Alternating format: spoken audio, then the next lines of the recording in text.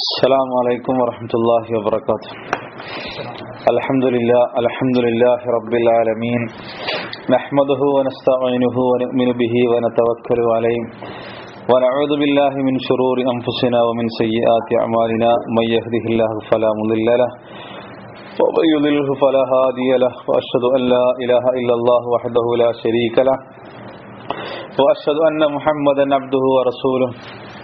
أرسله بالهدى ودين الحق ليظهره على الدين كله ولو كره المشركون اللهم صل على محمد وعلى آل محمد كما صليت على إبراهيم وعلى آل إبراهيم اللهم بارك على محمد وعلى آل محمد كما باركت على إبراهيم وعلى آل إبراهيم إنك حميد مجيد أما بعد فإن خير الحديث كتاب الله وخير الهدي هدي محمد صلى الله عليه وسلم. وشر الأمور محدثاتها وكل محدثة بدعة وكل بدعة ضلالة وكل ضلالة في النار. أعوذ بالله من الشيطان الرجيم. يا أيها الذين آمنوا اتقوا الله حق تقاته ولا تموتن إلا وأنتم مسلمون. إن أريد إلا الإصلاح ما استطعت وما توفيقي إلا بالله عليه توكلت وإليه أنيب رب اشرح لي صدري ويسر لي أمري وحلل عقدة من لساني يفقهوا قولي പ്രിയപ്പെട്ട സഹോദരങ്ങളെ സർവശക്തനായ അള്ളാഹു സുബാനുഹുവത്ത ആലായുടെ വിധിവിലക്കുകൾ ജീവിതത്തിലുടനീളം അനുധാവനം ചെയ്യണമെന്ന് ആമുഖമായി ഓർമ്മിക്കുകയാണ് ഇമാം അഹമ്മദ് ബിൻ ഹംബൽ റഹ്മത്തുല്ലാഹി അലഹിയുടെ ഉസൂൽ സുന്ന എന്ന റിസാലയാണ് നമ്മൾ വിശദീകരിച്ചു കൊണ്ടിരിക്കുന്നത് പറഞ്ഞു വന്നിരുന്നത് ഹൗദിനെ സംബന്ധിച്ചുള്ള കാര്യത്തെ വിശദീകരിച്ചതിന് ശേഷം ഖബർ ശിക്ഷയുമായി ബന്ധപ്പെട്ടുകൊണ്ട് അഹ്ലുസുന്നയുടെ നിലപാട് എന്താണ്? അതിനെ സംബന്ധിച്ചുള്ള ചർച്ചയിലായിരുന്നു നമ്മൾ ഉണ്ടായിരുന്നത് അതിൽ അദ്ദേഹം പറഞ്ഞു വൽ ഈമാനു ബി അദാബിൽ ഖബരി. ഖബറിലുള്ള ഹദാബിൽ വിശ്വസിക്കുക എന്നതും അഹ്ലുസുന്നയുടെ ഉസൂലുകളിൽ പെട്ടതാകുന്നു. അത് വിശ്വസിക്കുക എന്നത് നിർബന്ധമാകുന്നു.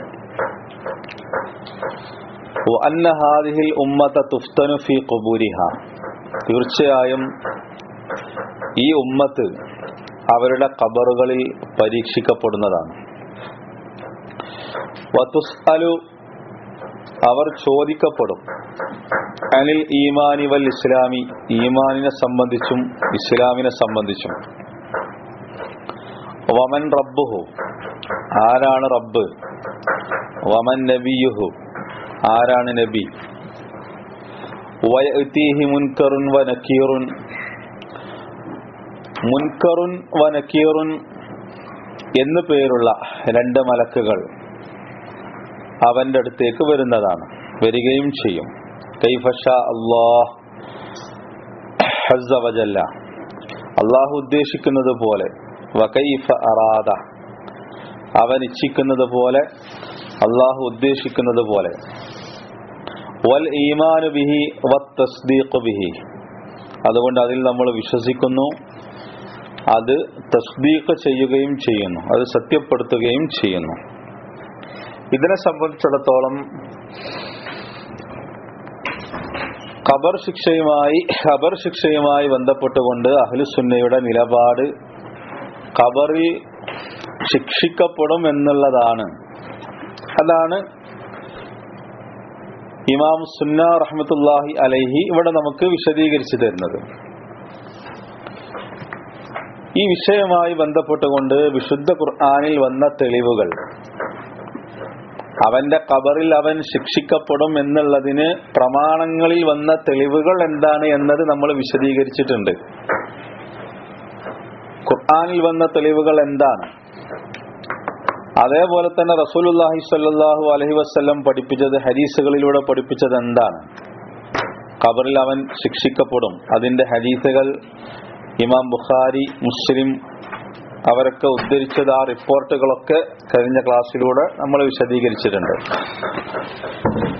ഇനി വൽ ഈമാനു ബി അദാബിൽ ഖബരി وأن هذه الأمة تفتن في قبورها وتسأل عن الإيمان والإسلام വമൻ റബ്ബുഹു വമൻ നബിയുഹു വയൽത്തിഹി മുൻകറുൻ വനക്കീറുൻ ഇനി നമുക്ക് വിശദീകരിക്കാനുള്ളത് ഇതിന്റെ രണ്ടാമത്തെ ഭാഗമാണ്.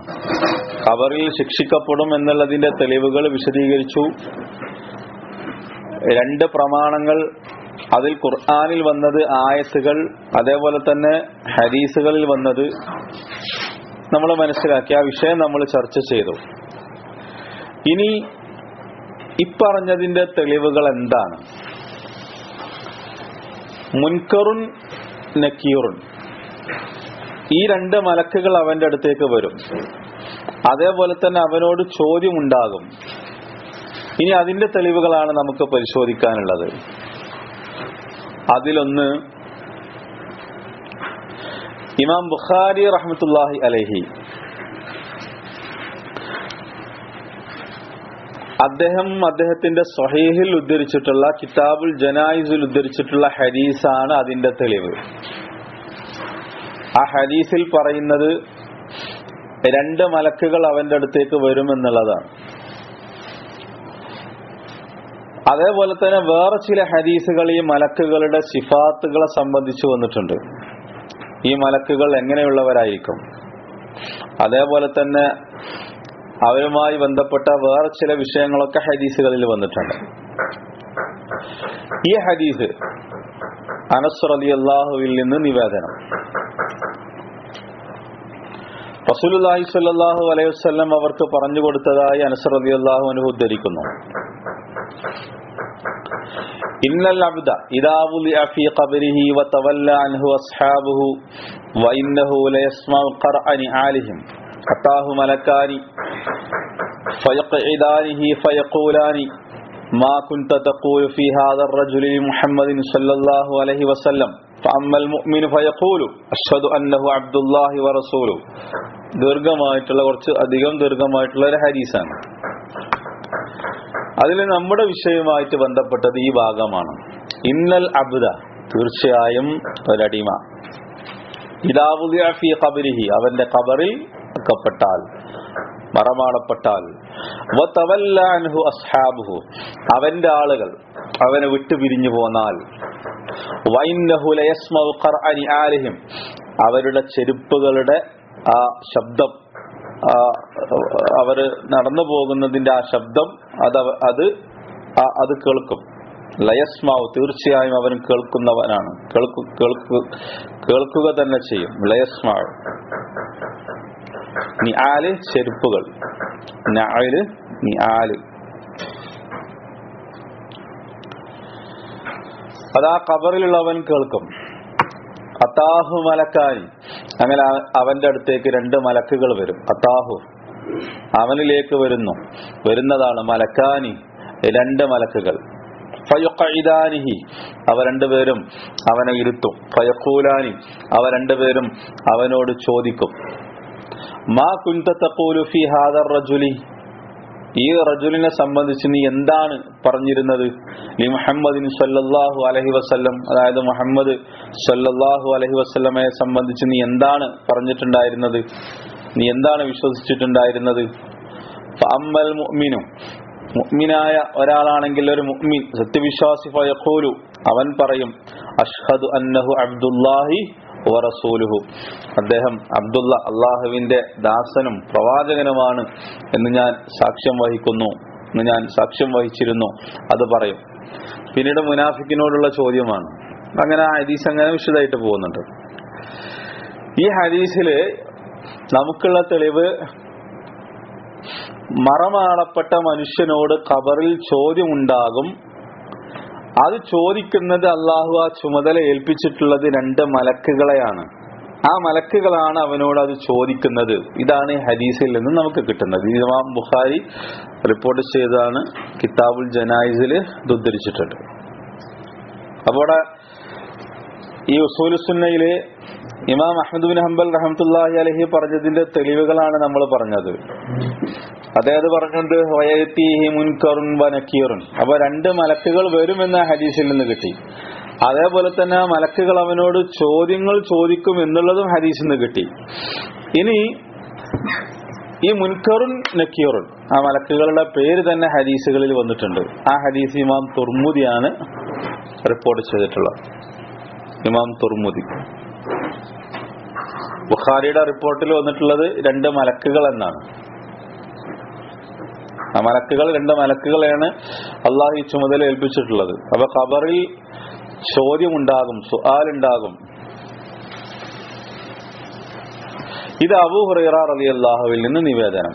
ഖാല صلى الله عليه وسلم നബി الله عليه وسلم പറഞ്ഞു اذا قبر الميت ഒരു മയ്യത്ത് മരമാടപ്പെട്ടാൽ ഔ ഖാല احدكم അല്ലെങ്കിൽ നിങ്ങളിൽ ആരെങ്കിലും മരമാടപ്പെട്ടാൽ അത്താഹു മലക്കാനി. അവന്റെ അടുത്തേക്ക് രണ്ട് മലക്കുകൾ വരുന്നു. അസ്വദാനി അസറഖാനി കറുത്ത അതേപോലെ തന്നെ കണ്ണുകൾ നീല നിറമുള്ള യുക്കാലുലി ആ രണ്ടു പേരിൽ ഒരാളുടെ ഒരാൾ പറയപ്പെടുന്നു പേര് അൽ മുൻകറു എന്താണ്? ഒരു മലക്കിന്റെ പേര് അൽ മുൻകർ. മുൻകർ എന്നാകുന്നു. വൽ മറ്റേ മലക്കിന്റെ പേര് അൻ നക്കീർ എന്നുള്ളതാകുന്നു. ഫയക്കൂലാനി അവ രണ്ടുപേരും ചോദിക്കുന്നു മാ കുൻ തഖൂലു ഫി ഹാദർ റജുലി. ഈ റജുലിനെ സംബന്ധിച്ച് നീ എന്താണ് പറഞ്ഞിട്ടുണ്ടായിരുന്നത് ഫയഖൂലു മാ യഖൂലു ഹുവ അബ്ദുല്ലാഹി വ റസൂലു അഷ്ഹദു അല്ലാ ഇലാഹ ഇല്ലല്ലാഹ് വ അന്ന മുഹമ്മദൻ അബ്ദുഹു വ റസൂലു. ഇതങ്ങനെ ഹദീസ് പോവാണ്. അതേപോലെ തന്നെ മുനാഫിക്കിനോട് ചോദ്യം ഉണ്ടാകും. ആ ഹദീസ് ഇതേപോലെ തന്നെ ദീർഘമായിട്ടുള്ള ഹദീസാണ്. വൈൻ കാന മുനാഫിക്കൻ ഫക്കാല മുനാഫിക്കാണെങ്കിൽ അവൻ പറയും അതിരി ജനങ്ങൾ പറയുന്നത് ഞാനും കേട്ടു ഞാനും അങ്ങനെ പറഞ്ഞു എനിക്കല്ല അതിരി ഇങ്ങനെ പറഞ്ഞിട്ട് ബാക്കിയുള്ള വിശദീകരണങ്ങൾ അങ്ങനെ പോവാണ്. ഈ ഹദീസ് തുർമുദ് റിപ്പോർട്ട് ചെയ്തതാണ്. ഷെയ്ഖ് അൽബാനി ഹദീസ് ഹസനാക്കിയിട്ടുണ്ട്. ഈ ഹദീസിൽ നമുക്കുള്ള തെളിവ് എന്താണ്? ആ മലക്കുകളുടെ പേരുകൾ മുൻകറും നക്കീറുമാണ്. ആ മലക്കുകളുടെ എണ്ണം എത്രയാണെന്നുള്ളത് നമുക്ക് കറക്റ്റ് അറിയില്ല. അത്രത്തോളം എണ്ണം മലക്കുകൾക്ക് ഉണ്ട് എന്നുള്ളത് ഖുറാൻ ഹദീസിന് മനസ്സിലാക്കുക അതിലെ പ്രമാണങ്ങളിൽ സ്ഥിരപ്പെട്ടിട്ടുള്ളത് വളരെ കുറച്ച് മലക്കുകളുടെ പേരുകൾ മാത്രമാണ്. ആ പേരുകൾ സ്ഥിരപ്പെട്ടിട്ടുള്ള മലക്കുകളിൽ രണ്ട് മലക്കുകളാണ് ഏത്? മുൻകറും നക്കിയറും അവർക്ക് അള്ളാഹു ഏൽപ്പിച്ചിട്ടുള്ള ജോലി ചുമതല. അത് കബറിലുള്ളവരോട് ചോദ്യങ്ങൾ ചോദിക്കലാണ്. എന്നും ഈ ഹദീസുകളിൽ നിന്ന് നമുക്ക് മനസ്സിലാക്കാം. അപ്പൊ ഇമാഹദൂൻ അബുൽ റഹ്മത്തുല്ലാഹി ആ മലക്കുകളുടെ പേര് പറഞ്ഞിട്ടുണ്ട്. വയത്തി മുൻകറുൻ വനക്കീർ. അതിന്റെ തെളിവാണ് ഈ ഹരീസ് അപ്പൊ പ്രമാണങ്ങൾ അത് സ്ഥിരപ്പെട്ട് വന്നിട്ടുണ്ട്. ഒന്ന് മുൻകറാണ് മറ്റൊന്ന് നക്കീറാണ്. അതേപോലെ തന്നെ ഇനി നമുക്ക് തെളിവ് കിട്ടേണ്ടത് ഇപ്പൊ നമുക്ക് തെളിവ് കിട്ടി. ഒന്ന് ഖബറിൽ ചോദിക്കപ്പെടും. ചോദ്യങ്ങൾ ചോദിക്കും. അതേ ഹദീസിൽ നമുക്ക് തെളിവ് കിട്ടി. രണ്ട് ആ ചുമതല അള്ളാഹു ഏൽപ്പിച്ചിട്ടുള്ളത് രണ്ട് മലക്കുകളെയാണ്. അതും ഹദീസിൽ നമുക്ക് കിട്ടി.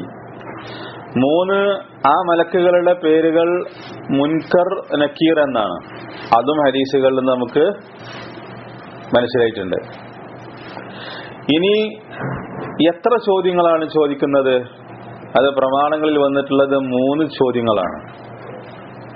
മൂന്ന് ചോദ്യങ്ങൾ.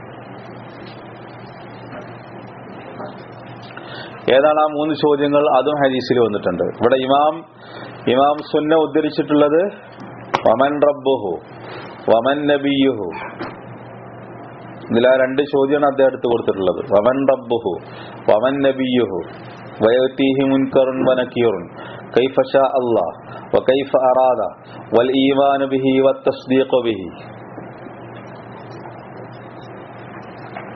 ഇനി ആ ചോദ്യങ്ങളെ സംബന്ധിച്ച് ഹദീസിൽ വന്നത് ബറാ റലി അള്ളാഹു താലാനഹു അദ്ദേഹത്തിൽ നിന്ന് നിവേദനം ചെയ്യുന്ന വളരെ സുദീർഘമായിട്ടുള്ള ഒരു ഹദീസ് ഉണ്ട് ആ ഹദീസിന്റെ ചില ഭാഗങ്ങൾ നമ്മുടെ വിഷയത്തിൽ ബന്ധപ്പെട്ട ഭാഗങ്ങൾ.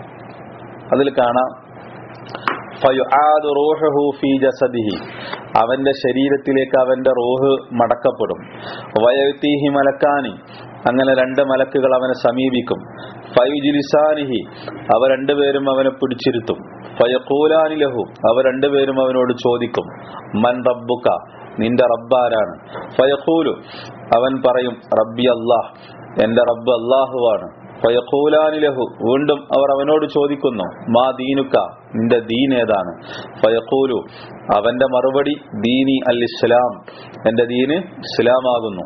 ഫയഖൂലാനി ലഹു അവർ രണ്ടുപേരും അവനോട് ചോദിക്കുന്നു വീണ്ടും മഹാദർ ബുഇസ നിങ്ങളിലേക്ക് പ്രവാ നിങ്ങളിലേക്ക് നിയോഗിക്കപ്പെട്ട ഈ മനുഷ്യരെ സംബന്ധിച്ച് എന്താണ് പറയുന്നത്? ഫയഖൂലു അവൻ പറയുന്നു ഹുവ അവൻ അള്ളാഹുവിന്റെ റസൂലാകുന്നു.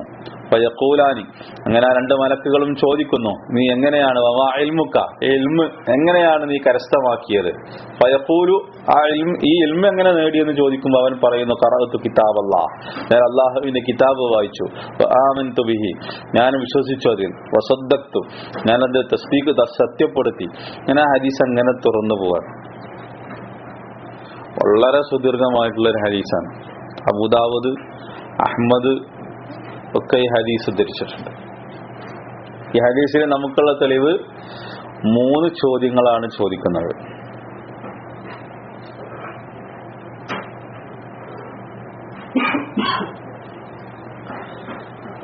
അതിൽ ഒന്നാമത്തെ ചോദ്യം മൻ റബ്ബുക. രണ്ടാമത്തെ ചോദ്യം മാ ദീനുക.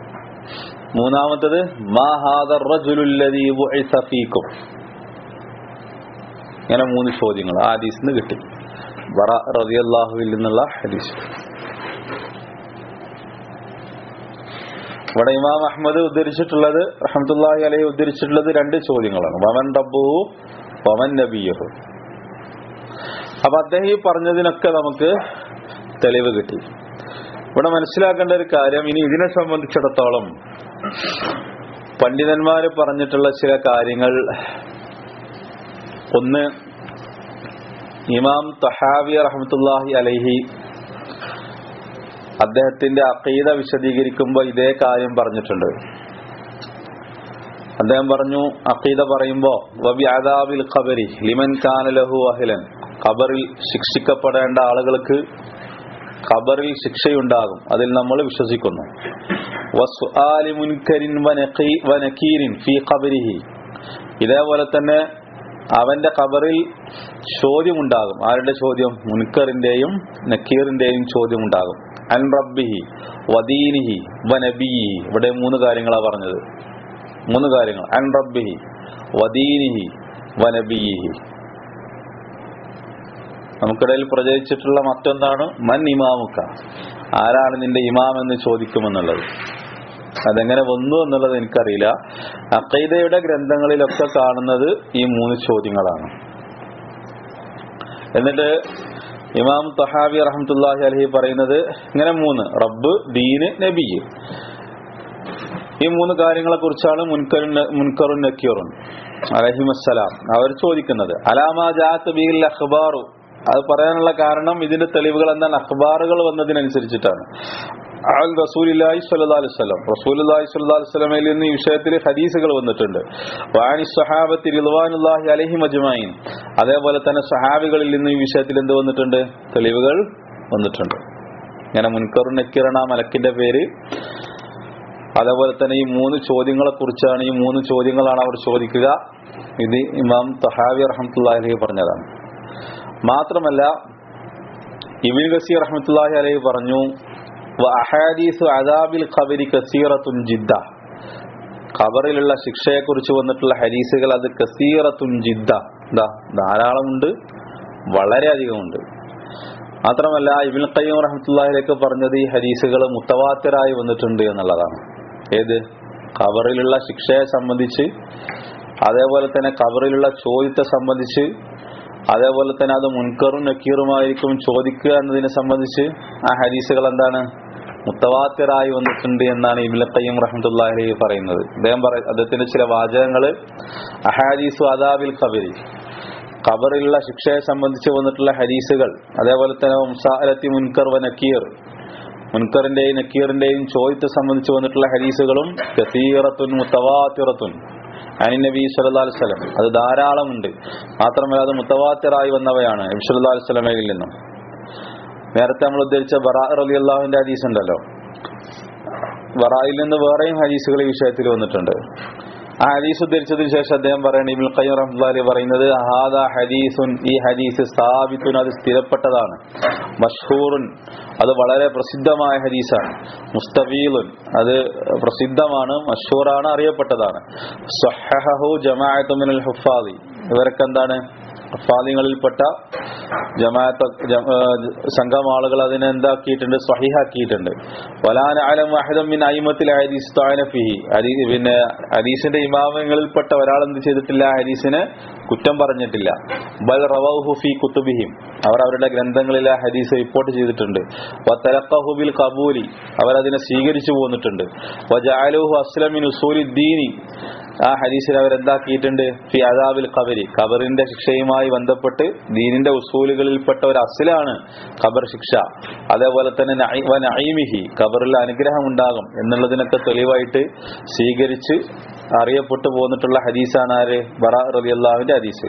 അതേപോലെ തന്നെ മസാലത്ത് മുൻകർ വ നക്കീർ. മുൻകറിന്റെയും നക്കീറിന്റെയും ചോദ്യത്തെ സംബന്ധിച്ചുള്ള ഹദീസ്. ഇതൊക്കെ എന്താണ്? പ്രസിദ്ധമാണ്. അത് മുത്തവാത്തറായി വന്നിട്ടുള്ളവയാണ്. ഇതൊക്കെയാണ് ആര് പറഞ്ഞിട്ടുള്ളത്? ഇബിൻ കയ്യം റഹ്മത്തുല്ലാഹിലെ വിശദീകരിച്ചിട്ടുള്ളത്. അപ്പൊ ഇതിനെ സംബന്ധിച്ചിടത്തോളം ഇനി ഒരുപാട് കാര്യങ്ങൾ ഖബറിലെ ശിക്ഷയുമായി ബന്ധപ്പെട്ടുകൊണ്ട് പറയാനുണ്ട്. അത് നമ്മുടെ വിഷയമല്ലാത്തത് കൊണ്ട് ഈ വിഷയം നമ്മളിവിടെ നിർത്തണം ഇനി അതിൽ ചെറിയൊരു കാര്യം മനസ്സിലാക്കാനുള്ളത്. മനുഷ്യന്മാര് പല രൂപത്തിലും മരിച്ചു പോകും. അതിനുള്ള വിശദീകരണം കൂടി അഹലസുന്നയുടെ പണ്ഡിതന്മാർ തന്നിട്ടുണ്ട്. ചില ആളുകളെ കത്തിച്ചിട്ട് നശിപ്പിക്കും. വേറെ ചില ആളുകൾ സമുദ്രത്തിൽ അങ്ങനെ മരിക്കും. അങ്ങനെ പല രൂപത്തിൽ എന്താകലുണ്ട്? മരണം സംഭവിക്കാറുണ്ട്. അതെങ്ങനെ മരിച്ചാലും എന്താകും?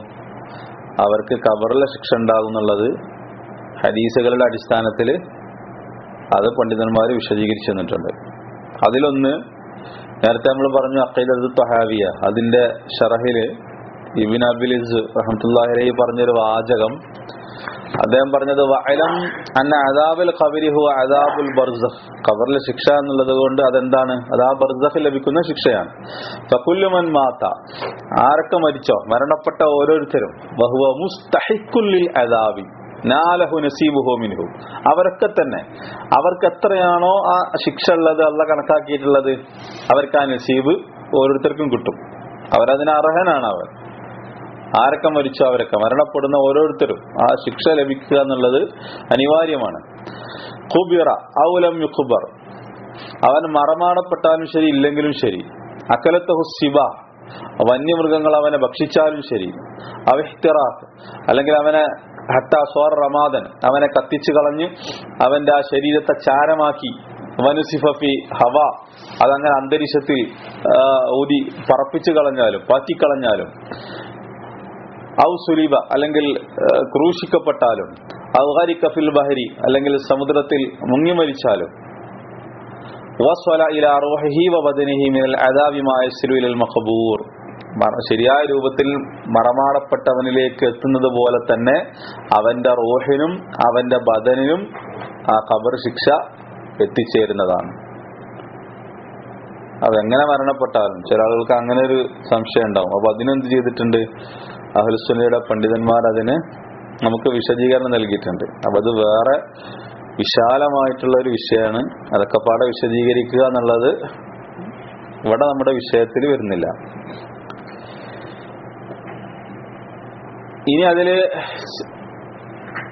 ഏറ്റവും ചുരുങ്ങിയ രൂപത്തിൽ ഈ വിഷയത്തിൽ ബന്ധപ്പെട്ടുകൊണ്ട് മനസ്സിലാക്കേണ്ട ഒന്ന് കബർ ശിക്ഷ. അത് ആത്മാവിനാണോ അതല്ല ശരീരത്തിനാണോ? അതിൽ അഹലുസുന്നയുടെ നിലപാട് എന്താണ്? അതിലൊരൊറ്റ ചോദ്യവും അതിന്റെ ഉത്തരവും. കാരണം അത് അതിന്റെ തെളിവുകളും കാര്യങ്ങളും കുറെ വിശദീകരിക്കേണ്ടതുണ്ട്. ഇബിനു ഹുസൈമി റഹ്മത്തുല്ലാഹി അലഹിയോട് ഒരു ചോദ്യം. ഹൽ അദാബുൽ ഖബരി അലൽ ബദനി ഔ അല റോഹി ആത്മാവിനാണോ അതല്ല റോഹ് പിന്നെ ശരീരത്തിനാണോ ഖബർ ശിക്ഷ അദ്ദേഹത്തോട് ചോദ്യം ഇതിന്റെ ഓഡിയോ നിങ്ങൾക്ക് കിട്ടും അതിൽ അദ്ദേഹം അതിന് കൊടുത്ത മറുപടി അൽ അസുലു അസുല് അന്നഹു അല റോഹി ആത്മാവിനാണ് ശിക്ഷ അസുല് അതിന്റെ അർത്ഥം ബദനില്ല എന്നുള്ളതല്ല അൽ അസുലു അസുൽ എന്താണ് അന്നഹു അല റോഹി لأن الحكم بعد الموت للروح ഹാമിദ. ഫലാ യകുൽ വലാ ബൽ ഹവാം. ശവ ശരീര ഒരു ശവത്തെ സംബന്ധിച്ചിടത്തോളം അല്ലെങ്കിൽ ഒരു മൃത ശരീരത്തെ സംബന്ധിച്ചിടത്തോളം അതിനെന്തില്ല? ഭക്ഷണോ പിന്നെ വെള്ളോ ഇതൊന്നും ആവശ്യമില്ല. അതിനെന്ത് തിന്നും? ഹവാമുകൾ അതിന് തിന്നും. കാരണം അതൊരു ശരീരം മാത്രമാണ്. ഫലസുലു അന്നഹു അല റോഹി. അതുകൊണ്ട് തന്നെ അസിൽ എന്താണ്? റോഹിനാണ് ശിക്ഷ. ലാക്കിൻ കാല ഷെയ്ഖുൽ ഇസ്ലാം ഇബിൻ തീമിയ എന്നാൽ ഷെയ്ഖുൽ ഇസ്ലാം ഇബിൻ തീമി പറഞ്ഞിട്ടുണ്ട് ഇന്ന റൂഹ അത് തത്തസിലു വിൽ ബദൽ ചിലപ്പോൾ എന്ത് ചെയ്യുന്നുണ്ട്? ഈ ആത്മാവും ശരീരവും തമ്മിൽ ബന്ധം ഉണ്ടാകുന്നുണ്ട് ചില സന്ദർഭങ്ങളിൽ. ആ സന്ദർഭത്തിൽ എന്ത് ചെയ്യും? ആത്മാവിനും അതിന്റെ ശിക്ഷ ഉണ്ടാകും. അതേപോലെ തന്നെ ആ ശരീരത്തിനും ശിക്ഷ ഉണ്ടാവും. അപ്പൊ വിനാൻ അലാദാലിക്ക കാല ഉലമാ ഇന്ന റൂഹ അതുകൊണ്ട് തന്നെ ഈ ഇതിന്റെ അടിസ്ഥാനത്തിൽ പണ്ഡിതന്മാർ പറഞ്ഞിട്ടുണ്ട് ഇന്ന റൂഹ റൂഹ് എന്ത് ചെയ്യുന്നുണ്ട്? അത് തത്തസിലഫിൽ ബദനി. അത് ശരീരവുമായിട്ട് ചില സന്ദർഭങ്ങളിൽ അതിന് ബന്ധമുണ്ടാകുന്നുണ്ട്. ഫയക്കൂരിൽ അതാബു അല ഹാദ വഹാദ ആ അതുകൊണ്ട് അങ്ങനെ ശിക്ഷ ഉണ്ടായിത്തീരും തീരും ആത്മാവിനും ആ ശിക്ഷ ഉണ്ടാകും. അതേപോലെ തന്നെ ശരീരത്തിനും ആ ശിക്ഷ ഉണ്ടാകും. എന്നിട്ട് അദ്ദേഹം ആ വിഷയത്തിൽ വന്നിട്ടുള്ള ചില ഹരീസുകൾ ഉദ്ധരിക്കാണ്. കാഫിർ കാഫിറിനെ സംബന്ധിച്ചിടത്തോളം പറയുന്നുണ്ടല്ലോ അവന്റെ വാര്യലുകൾ പരസ്പരം കോർക്കും എന്നുള്ളത്. ആ ഹദീസിൽ നിന്ന് എന്ത് മനസ്സിലാക്കാം? ഫഹാദ ഇതിലു അല അന്നൽ അതാബ് എക്കൂനുൽ ശരീരത്തിനാണ് ശരീരത്തിനും ശിക്ഷ ഉണ്ടാവും എന്നുള്ളത് ആ ഹരീസിന് മനസ്സിലാക്കാം. കാരണം ഈ വാരിയല്ലുകൾ എവിടെയാണ്? അത് ആത്മാവിനല്ലല്ലോ. അത് അന്നൽ ഫിൽ ജിസ്മി. അത് ശരീരത്തിലാണല്ലോ. എന്ന് അദ്ദേഹം അങ്ങനെ വിശദീകരിച്ചു പോകുന്നുണ്ട്. അദ്ദേഹത്തിന്റെ മുജ്മു ഫത്താവിൽ ഇത് കാണാം. അപ്പൊ ഇത് വേറെ നമ്മൾ ചർച്ച ചെയ്യേണ്ട ഒരു വിഷയമാണ് മൊത്തത്തിൽ അതിന്റെ രത്ന ചുരുക്കം റൂഹിനും അതേപോലെ തന്നെ ബദനിനും ശരീരത്തിനും എന്തുണ്ടാകും? അള്ളാഹു കണക്കാക്കിയ രൂപത്തിൽ അതിന്റെ ശിക്ഷ കിട്ടുന്നർത്ഥം അതാണ് ചുരുക്കത്തിൽ അതിനെ സംബന്ധിച്ചിടത്തോളം മനസ്സിലാക്കുന്നത് ഇനി ഈ വിഷയത്തിൽ അഹുലുസുന്നയുടെ അക്കീതക്കെതിരായ നിലപാട് സ്വീകരിച്ചവരാരാണ്? ഓരോ വിഷയത്തിലും നമ്മളത് പറഞ്ഞിട്ടുണ്ട്. എന്താണ് അഹ്ലുസുന്നയുടെ നിലപാട്? അതേപോലെ തന്നെ അഹ്ലുസുന്നയുടെ അഖീദ ആ മൻഹജിൽ നിന്ന് വേറിട്ട് പോയവരുടെ നിലപാട് എന്താണെന്നുള്ളത് നമ്മൾ പറഞ്ഞിട്ടുണ്ട്.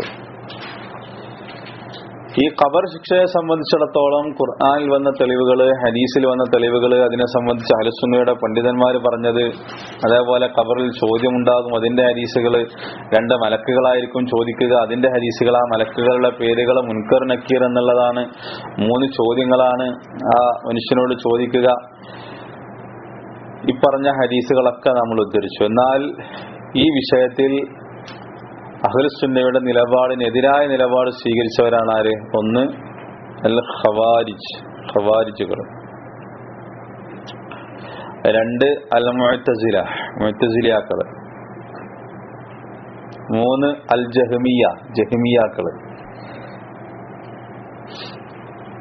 ഹൗദിലുള്ള വിശ്വാസത്തെ സംബന്ധിച്ച് നമ്മൾ വിശദീകരിച്ചപ്പോൾ പറഞ്ഞിട്ടുണ്ടായിരുന്നു അഹലുസുന്നയുടെ നിലപാട് അതിനെതിരായ നിലപാട്. ഇതേപോലെ തന്നെ ഈ ഖവാരിജകളും അല്ലെങ്കിൽ ജഹ്മിയത്ത് അല്ലെങ്കിൽ മുഴത്തസിലത്ത് ഇവരെല്ലാവരും ഒരേ രൂപത്തിലല്ല ഇതിനെ നിഷേധിക്കുന്നത് കേട്ടോ. അത് വേറെ വിശദീകരണങ്ങൾ നമ്മൾ മനസ്സിലാക്കണം പഠിക്കണം. ഇവിടെ ഉസൂൽ സുന്നയാണ് ഇപ്പൊ നമ്മൾ വിശദീകരിക്കണം അല്ലാഞ്ഞാൽ കബറിലെ ശിക്ഷനെ സംബന്ധിച്ചല്ല.